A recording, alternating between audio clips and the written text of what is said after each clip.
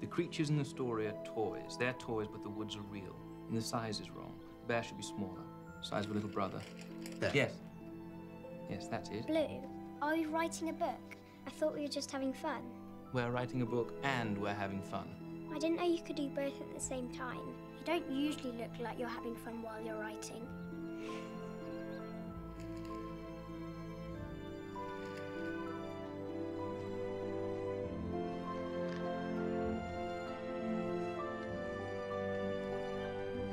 Your turn, Tigger. This is more than a few poems. Hmm. It's a little world. Like you said, a hundred acre paradise. Be very, very quiet. Vespers. This one's for Daphne.